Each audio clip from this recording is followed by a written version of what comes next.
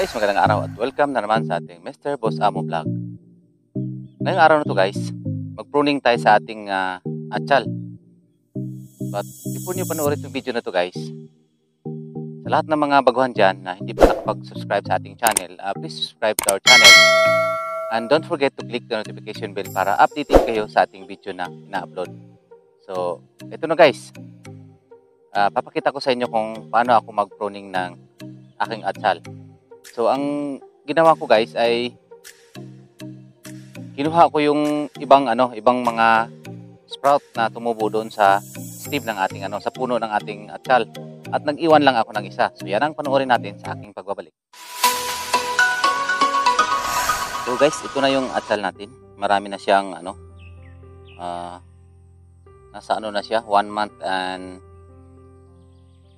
ano, isang buwan talaga. One month lang talaga ngayong araw na to guys. So marami na siyang sprout, marami na siyang ano, tumubo dito sa kanyang puno. Ayan. Ito guys. Ilan na yung ano niya, uh, mga sprout. Isa, dalawa, tatlo, apat, lima, anim, pito, walo, siyam, sampu, labing isa, labing dalawa, labing tatlo, labing apat, labing lima. Tsaka may bunga na siyang maliliit guys. Oh, kung makikita din nyo. Ayan oh. May bunga na siyang maliliit. Ayan. Ito, bunga niya maliliit. And then, itong mga bulaklak na to sa ibabaw guys, kung hindi natin siya uh, babawasan yung ating sprout, hindi tayo mag-pruning, uh, posible na itong mga bulaklak na to, yung iba ay malalaglag.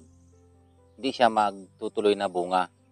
So, ang gagawin natin guys, para, at saka para malaki ang bunga niya guys, ay ating uh, i-pruning para malaki ang kanyang mga bunga na kahit umabot kayo ng harvest na mula isa hanggang lima ay marami pang malaki ang bunga.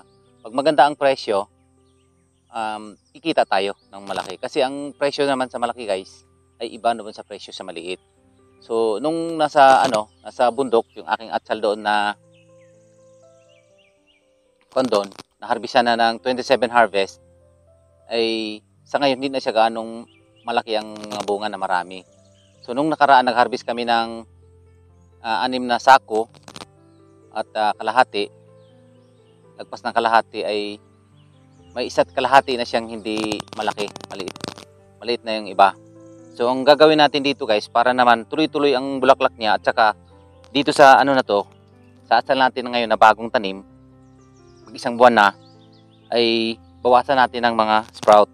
Ang ginawa ko guys, sa akin namang ano bagong diskarte sa pag ano pag technique sa bagong pag pruning ay nag-iwan ako ng isa.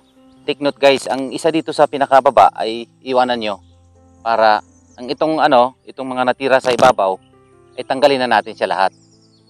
Para mag-focus naman siya dito sa kanyang bulaklak at isa lang yung kanyang uh, titirahan ng ano, nutrients dito sa baba.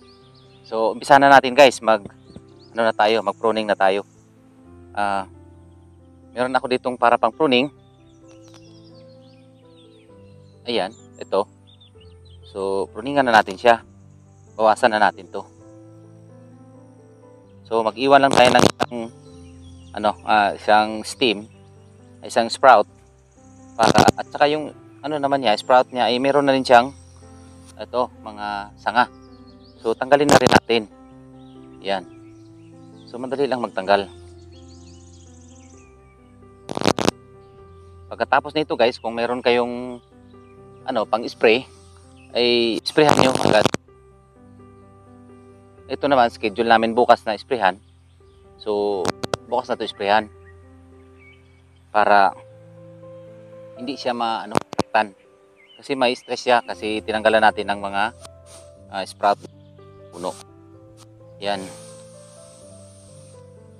Ito na siya guys. So lahat ng mga dahon dyan sa ilalim, tanggalin na natin. Yan. Para wala na wala nang kahati doon sa mga nutrients na paakyat papunta sa ibabaw. I-supply niya sa kanyang mga bulaklak. At nag-iwan lang tayo ng isa sa pinakamalapit na puno. So ayan sa guys, malinis na malinis na.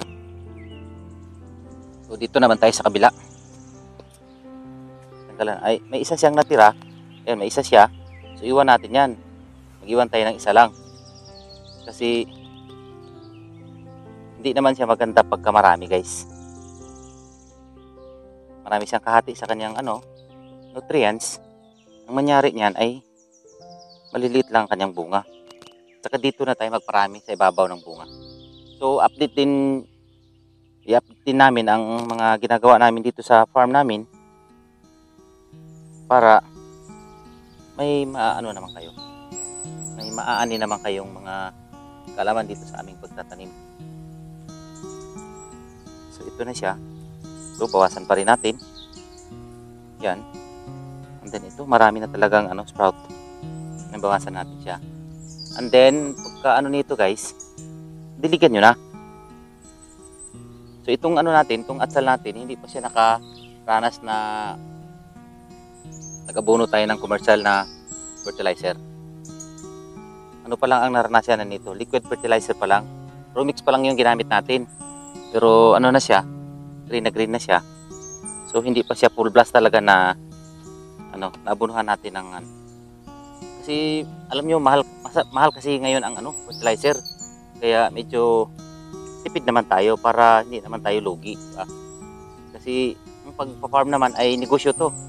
Hindi ito ano, hindi ito biro.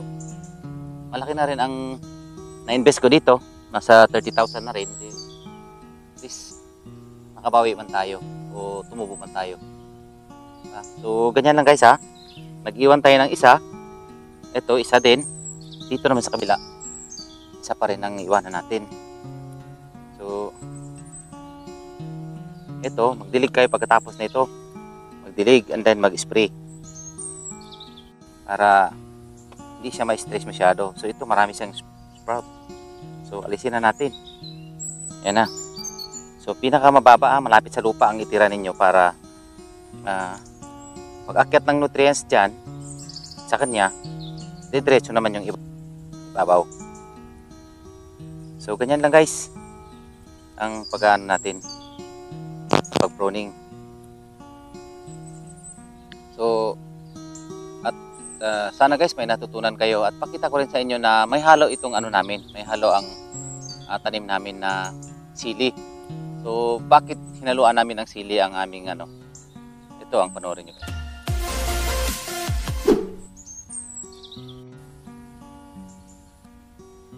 So guys, ito siya guys. Ah, ito yung sinabi ko kanina. Balik tayo doon. Um, ito yung ano, sili na dynamite.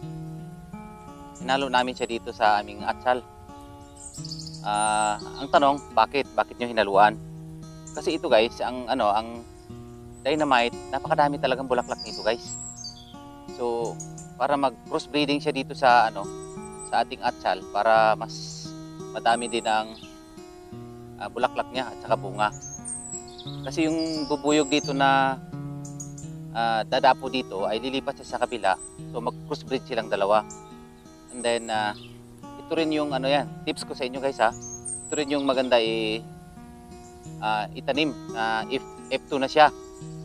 Sa ngayon, F1 pa sa F1 pa siya lahat. So sa next natin na pagtanim, pwede natin gamitin 'to. Pwede tayong kumuha dito na ah, similya sa kalapit nito kasi pag nahangin naman ito, nahanginan siya, ang yung mga pollen naman nito ay lilipat sa kabila dito sa mga tabi-tabi niya. So itong tabi niya, mga 1 meter, ah, pwede nating kuhanan ng similya yan na F2. At yun ang pinakamagandang magbunga guys, napakaraming magbunga. Ah, tips ko sa inyo yan sa mga gustong magtanim ng atsal. Diyan, ah, ito haluan nyo ng ganito, ah, sili na dynamite para gusto niyo mag-breeding ng magandang ano, magandang lahi ng atsal. Pero sa ngayon, ito, itong atsal na to, puro F1 to. And the next nito, F2 na siya. So maganda pa rin siyang itanim dahil kung gusto natin mag-breeding. So sa next time naman na pagtanim namin, kuhanan namin to ng F2 kasi nag-breeding kami nito sa sili para marami siyang ah, bunga. So yun ang ano tips ko sa inyo guys kung bakit kami naghalo ng ganito. So sana guys sa araw na ito ay may natutunan kayo sa ating ah ah, na to sa pagpupruning at nag-iwan lang tayo ng isa doon sa ating pruning. So sa lahat ng mga hindi pa nakapag-subscribe dyan guys, uh, don't forget to subscribe to our channel and uh, click the notification bell para updated kayo sa ating uh, video na ina-upload. Tsaka pasa pasalamat ako guys sa mga lahat ng nanonood sa ating channel dahil uh, malapit na tayong umabot ng 1,000 subscribers. Maraming salamat sa inyo, sa mga viewers natin dyan, sa lahat ng mga silent viewers. So kung may comment kayo guys dito sa ating uh, pagpruning, kung may tanong kayo, i-comment nyo lang yan dahil uh, sasagutin natin yan ng lahat ng mga komentaryo ninyo o may, may tanong kayo kung paano namin ilagaan ang aming atsal. So see you guys on my next vlog.